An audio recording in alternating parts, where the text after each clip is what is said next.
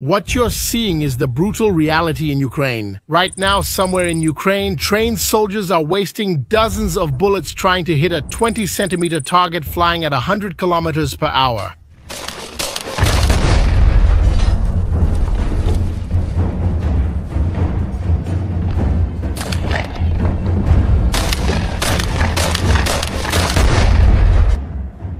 And even when they succeed, it's pure luck because in modern warfare, all sides face the same deadly problem.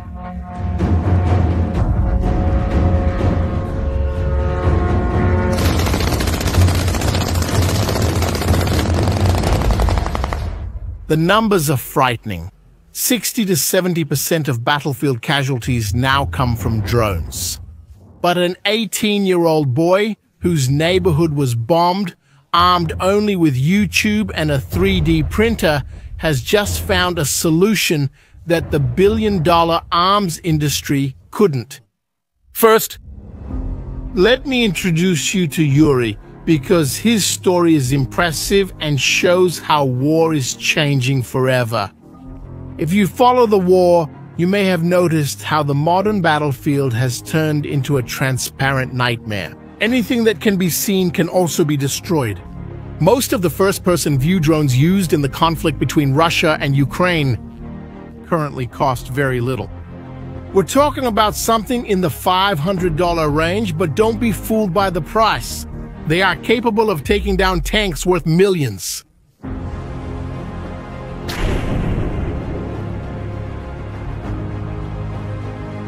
Even top tanks like the American M1 Abrams and Russian T-90M are now easy targets.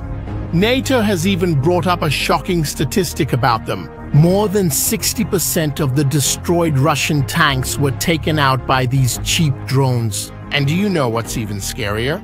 Doctors on the front lines report that drones now cause between 60 and 70% of all casualties. Take a moment to think about that. In previous wars, you were in danger if you were two kilometers from the front line. But today, you can be a target up to 40 kilometers away. As you can see, the deadly zone has expanded and no one is safe anymore. Soldiers, supply trucks, command posts, they're all under constant threat. And here comes the first problem. How do you defend cities against these small devices? Look, a Patriot missile costs between 4 and 7 million dollars. Meanwhile, a German Iris-T missile costs $630,000, and the Russian drone they intercept between $30 and $100,000. You spend $7 million to shoot down something worth 30,000. It's a brutal imbalance, and Russia knows it. That's why 40% of the drones in the night attacks are decoys. They don't carry explosives. They exist only to exhaust Ukraine's expensive missiles. It's pure economic warfare. But there's another problem. Let's take the Patriot as an example again. The global production of these missiles is 600 per year. Ukraine could easily use all of them in just a few weeks.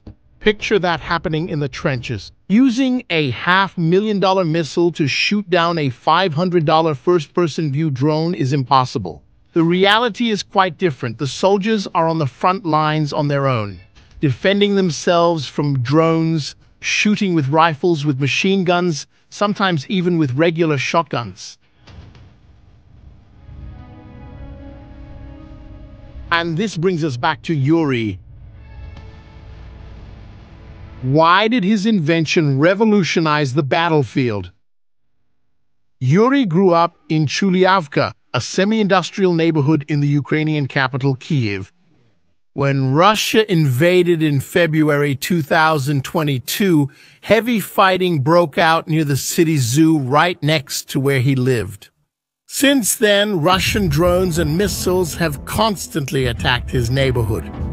At the time he was 17 years old, he was a young man frustrated with school and desperate to help, but he was too young to enlist. He spent hours watching YouTube videos about military equipment, improvised engineering, and 3D printing.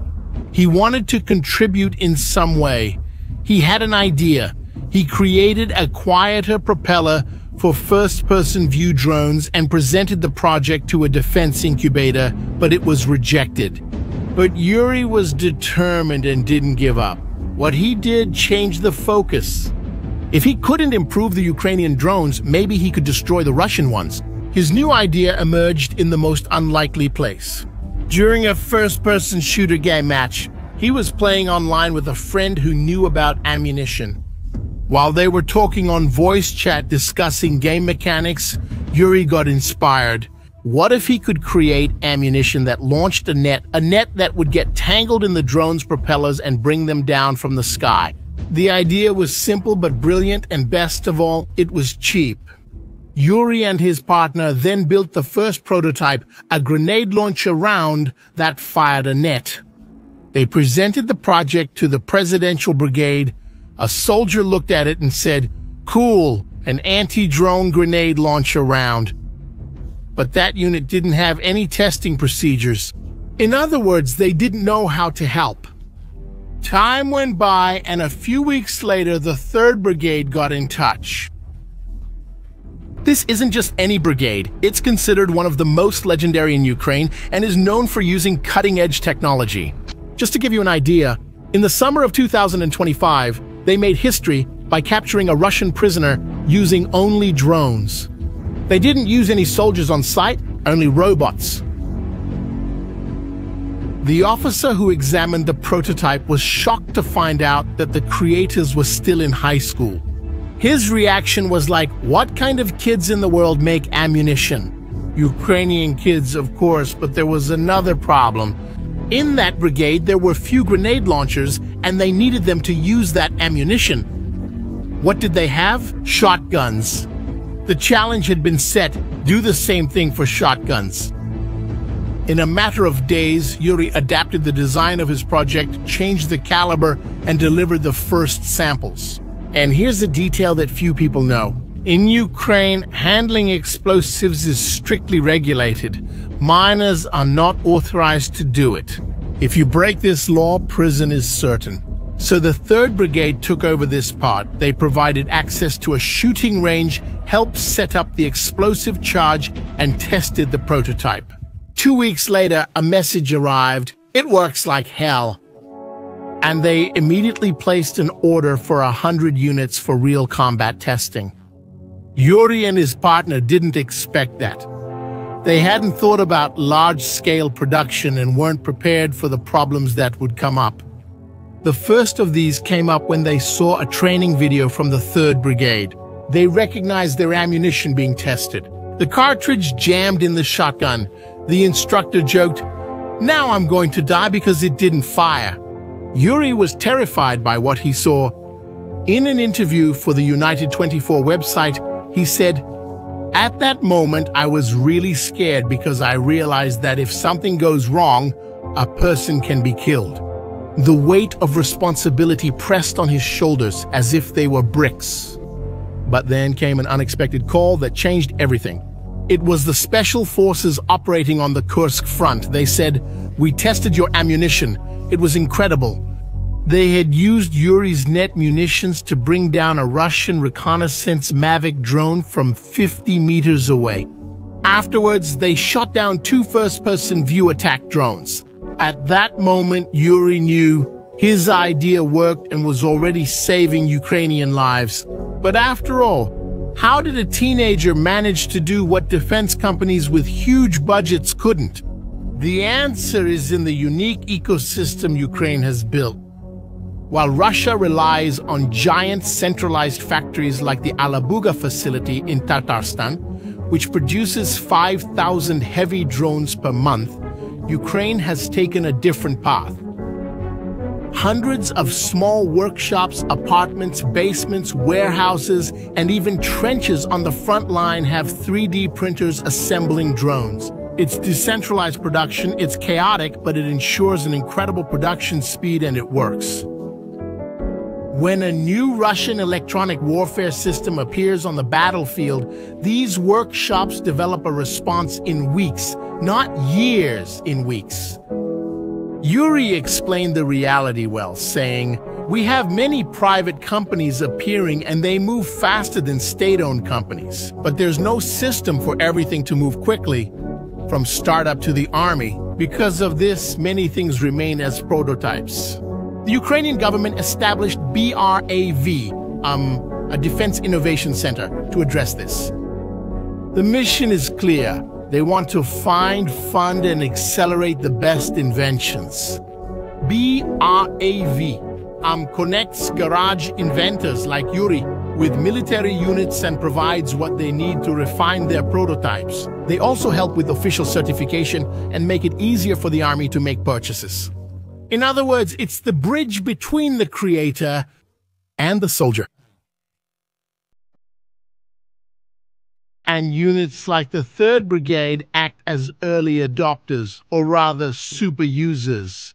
They don't just use new technology, they actively collaborate in development, provide real-time feedback, test, refine, and repeat. This cycle between inventor and end user is the engine of the Ukrainian war machine. It allows them to compete in a technological arms race against a much larger adversary.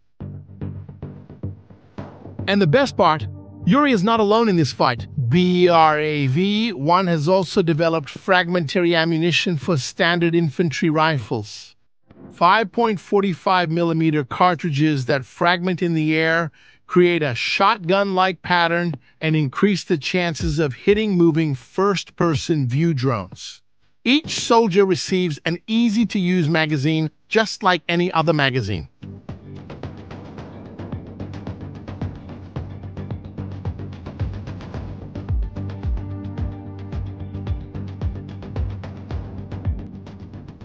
There's also the anti-drone gun. It doesn't fire bullets. It emits radio frequency interference and shuts down enemy drone control channels. It weighs one kilogram. It has a range of 100 meters.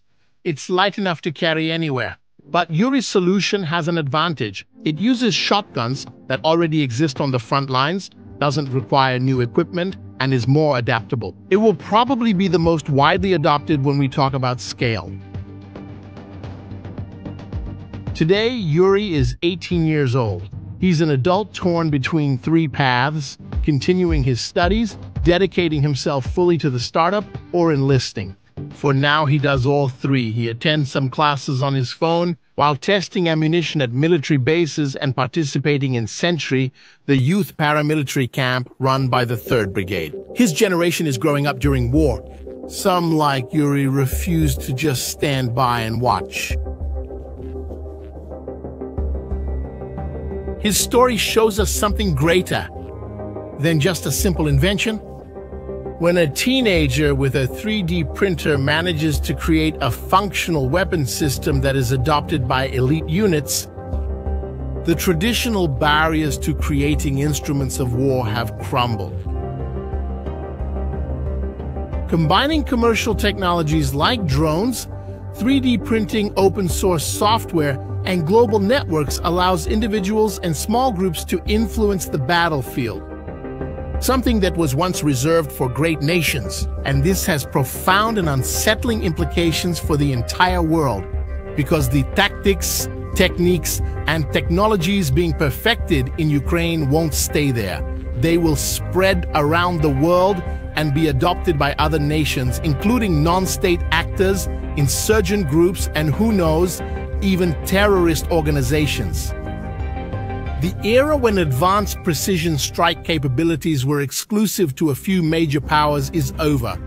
Yuri's net munition proved to be a simple and brilliant solution to a major problem on modern battlefields. But tomorrow, Russia or another adversary might create another type of drone or software that automatically avoids interception or even deployment tactics that make nets ineffective. And that, well, will require a new response, a new idea born in another garage or workshop. The lesson from all this is one. In modern technology-saturated warfare, the only sustainable strategic advantage is the ability to learn, innovate, and adapt faster than the enemy. And sometimes that advantage comes from where you least expect it. Now I want to know your opinion. Did you ever imagine that the inspiration for a wartime innovation, one that's saving many lives, would come from a video game? Leave your answer in the comments. If this video made you think differently about innovation and modern warfare, share it with someone and subscribe to the channel for more content like this. See you next time.